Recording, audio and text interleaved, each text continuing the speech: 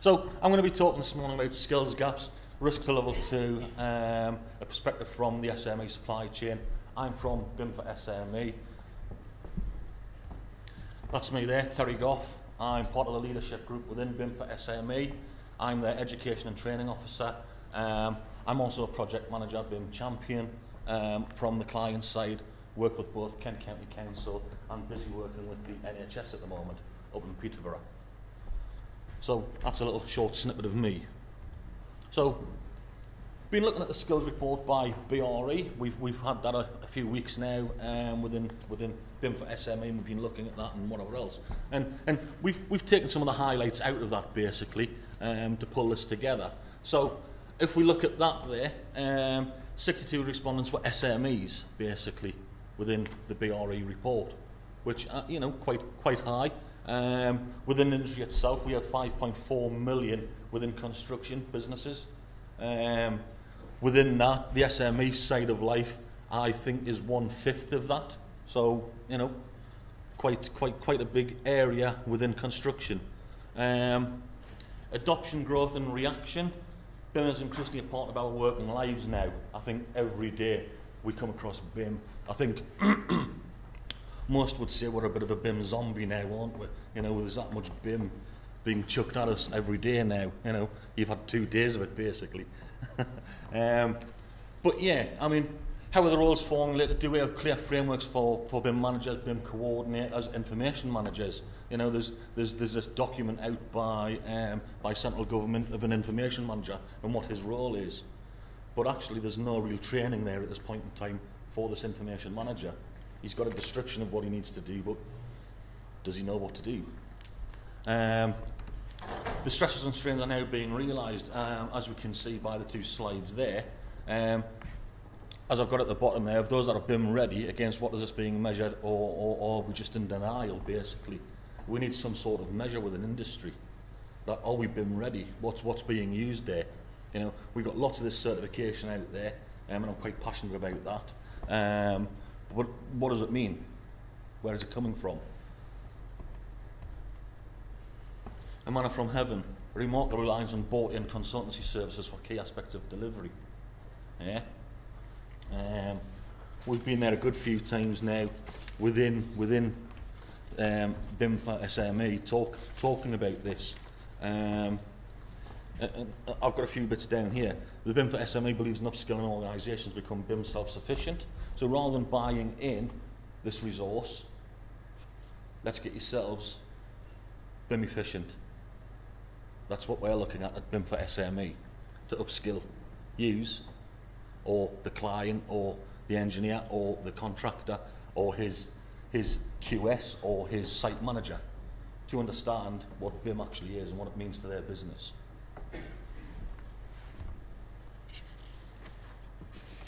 So, in denial, at this point in time, is this level 2 federated model information or compliance with level 2 components? Are we really ready to deliver COBie? And looking at that slide there, um, the 60% is we already have the relevant expertise, but as we've just looked at the slide previous there, a lot of that is bought in. It's bought in expertise within a business. I've looked at some further surveys and whatever else, and, and if we look at this one there, we've got 41% are not clear on what they have to do to comply. 41%, that's quite a high percentage. 10% believe that construction is now ready. 10%, it's quite low really in reality. Yeah, if, if, if we're everywhere else is saying, you know, that we're, we're ready, we're doing this, we're, we're certified or whatever else.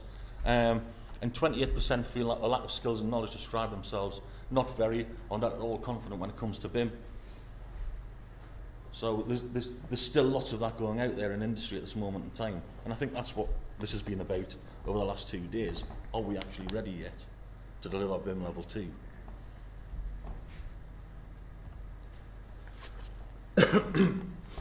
As I've already mentioned, there's some changing roles there. Um, and, and, roles are evolving and have evolved.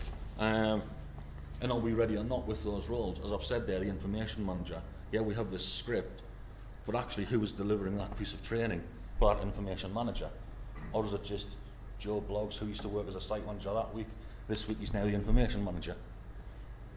And there you go, read that. Get on with it. So this is all about upskilling the staff within a business, understanding where we're heading. There's still lots of uncertainty out in the industry, still a lot of work to be achieved to ensure that we, we, we all play on a level playing field. Because at the moment we're not playing on that level playing field. We've got some that are well advanced, but actually the remainder are still sitting at the back of the, the room basically, waiting and hoping that someday they'll pick it up, they'll do something. As I've just said there, the big boys may understand um, BIM, but, but, but their supply chain doesn't at this point in time. And I think, I think from the BRE report that I've read, um, and, and some of the figures that we've got there, um, it, it's, it's, it, I think it reads quite well that they're not ready yet. You know, not, not a lot of the supply chain are ready yet. Oh. Just go back to that slide there. Um, changing laws. Uh, just a few bits here. Do you really believe that we're going to change that much that quickly? I.e., 2011, we're now at 2015. Um, there's been talk this morning, there, you know, graduates are coming out of, of, of, of academia still not knowing what to do. you know, so are we really going to change that quick? Where's the plan for that change? Yeah, we've got a plan for, for, for going forwards, but where's the plan at the moment for, for um, the legacy of level two? The guidance, we've got guidance, yeah, on PAS 1192, how to deliver certain things, but actually, what we haven't got is guidance on what should be upskilled, what we should be doing there with all of that, how we should be upskilling industry. You guys and girls out there. Where's the leadership with this? Who's leading on this? Or is it just left to us once again, the industry, to try and do that? You know, we're moving into this legacy mode now, um, or we've moved into legacy mode now, in reality, but I think we still need some leadership somewhere down the line. We haven't got that. So it's left to us to try and resolve that once again.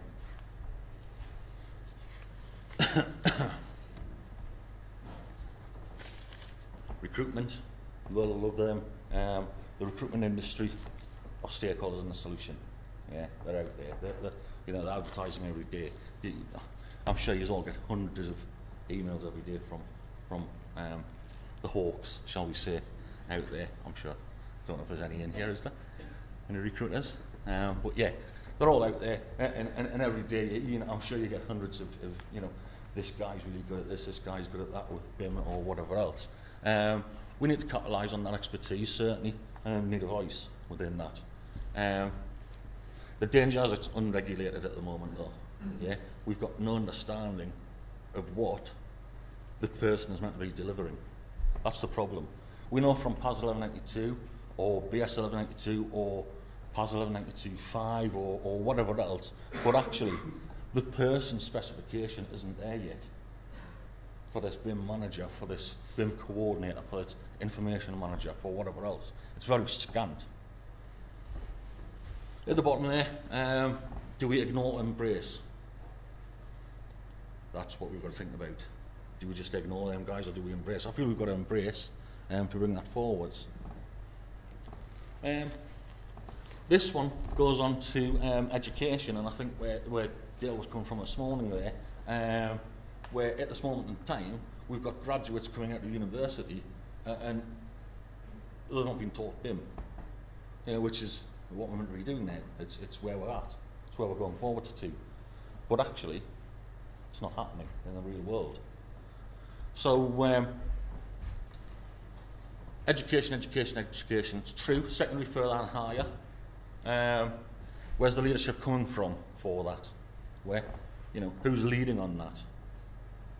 Is academia leading on that? Don't think so. Or central government coming back and saying, actually, we need to get a plan in place? No, they're not. Once again, we're being left to our own devices to deliver education, basically need to capitalise on the fast, fantastic work that's done by uh, COIO, definitely, and, and others, actually. You know, your good self that you talked about this morning, you know, the good work that they're doing. We need to capitalise on that. Um, what about colleges, universities? Where in the progression with uh, Where is the progression being articulated within universities? Is it clear to us what needs to be delivered? Yeah, we've talked about BIM you know, just just just there on, on, on standards. If we can't get that right, what, what are we meant to be delivering? What is the guy, you know, from, from the business, your BIM manager or whatever else, what does he know what to deliver? You know? And if they don't, what about the kids? If we can't get it right, and academia can't get it right, and whoever else can't get it right, then what are we being taught?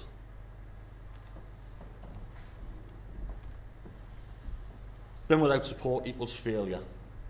I, I, think, I think that's very true, actually, and we need some support. Um, I don't think we've had support from central government at this point in time. They've, they've given us some great documents and God knows whatever else, but actually, they've lacked in leadership. Oh, my personal feeling is they've lacked leadership. They've, they've not taken, you know, the reins really for us. Um, so for clients, for contractors, for designers, for suppliers and for operators. You know, without leadership, we're just, we're just heading in whatever direction. We're doing what we want, what we feel. And I'm sure out there, you're all doing your own little thing.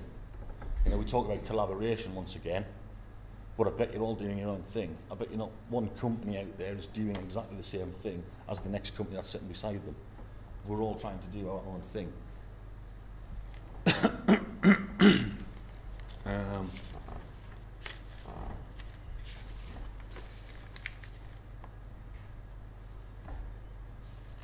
there is a skills gap.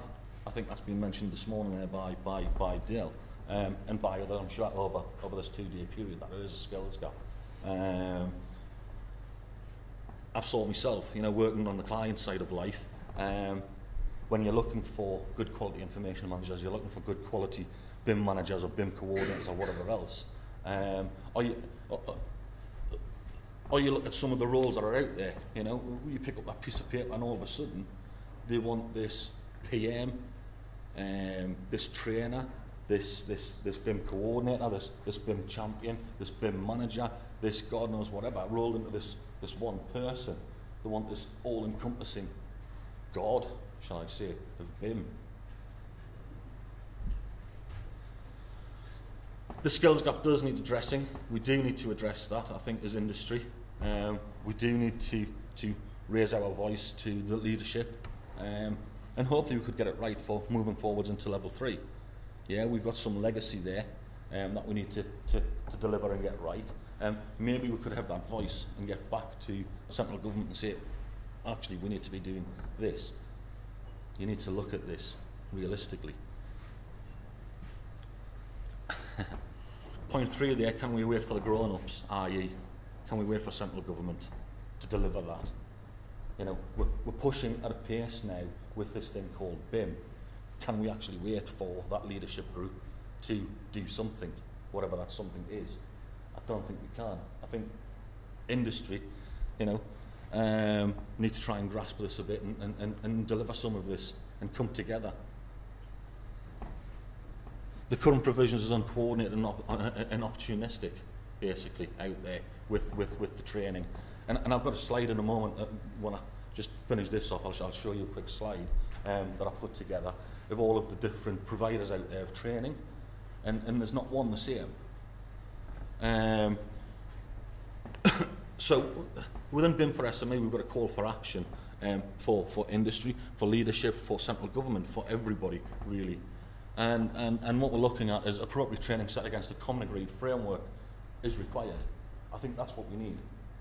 And I think we have that, in a way, with the, with the Learning Outcomes Framework, which I'm sure you've all heard of, the Learning Outcomes Framework. I'm sure you're all sat against that and, and, and doing everything that should be done, because that's meant to deliver BIM Level 2. Central government said Learning Outcomes Framework will deliver BIM Level 2. Whether it will or not is a different matter, but if we were all doing that, at least we're all doing the same. At least we're standardising some of that training.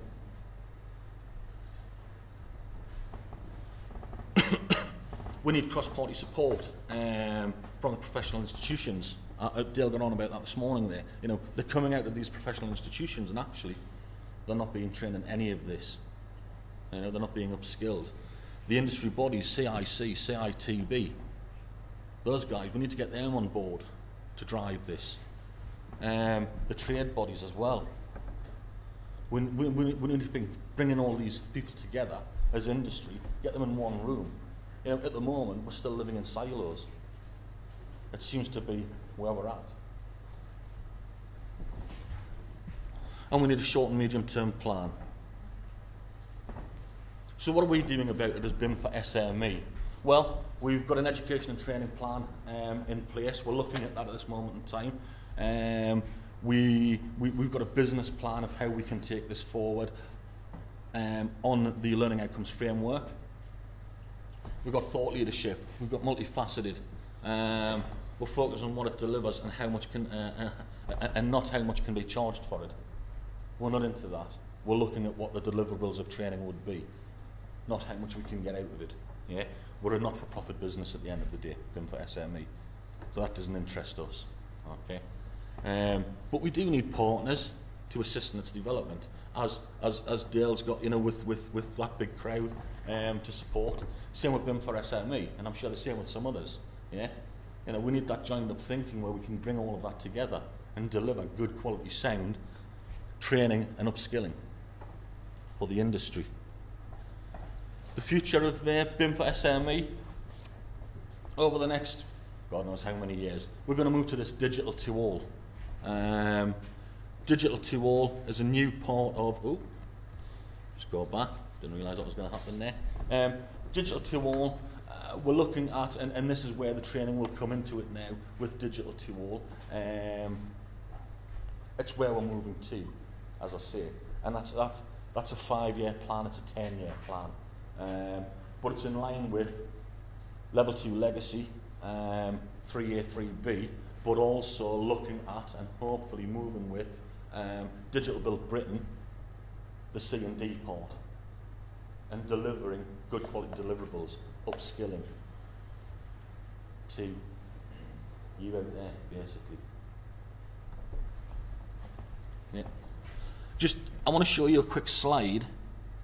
Um, I'll just do that. I think it's this one. Quick as you can. Um, view full screen and zoom. Um, you what? Sorry. Is it this on the other one? Full screen. Which one? Where? Where? Show me. That full screen mode there. Yeah, there. Um, this one here, I just sort of took a quick snippet of, of, of, of where we're at at this moment in time within within industry. At the moment, we've got BRE, the RICS, CADline, BIM Academy, the NFB, ICE, and, and, and BSRIA. And they're all offering some sort of training um, in relation to, and obviously I've got your good self now, um, but they're all offering training in some form. Yeah? But what there isn't is consistency. We, we haven't got that standardisation. They're not using the learning outcome framework. I've looked at a lot of what they're offering, um, and, and it doesn't afford meet with the learning outcomes framework. And I think that's where we need to get to. That we do, you know, use that as a standard that everybody's on that same level playing field. So when you go to RICS, it's exactly the same as what we're going to get from BRE. It's exactly the same as what you know you're going to get from ICE or whoever else. And there's three parts to that learning outcome framework. You know, at the moment, as you can see there, there's a whole myriad of, of God knows what, you know, when it comes to training. And actually, if you go to ICE and you get your certification, does that mean you're BIM ready?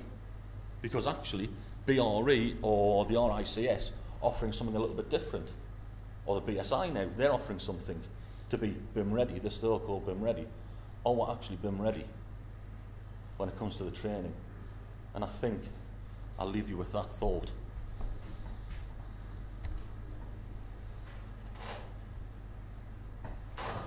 I was going to show you some other bits, but I'll leave that. And if you want to talk to me in the break, we'll have a look at them.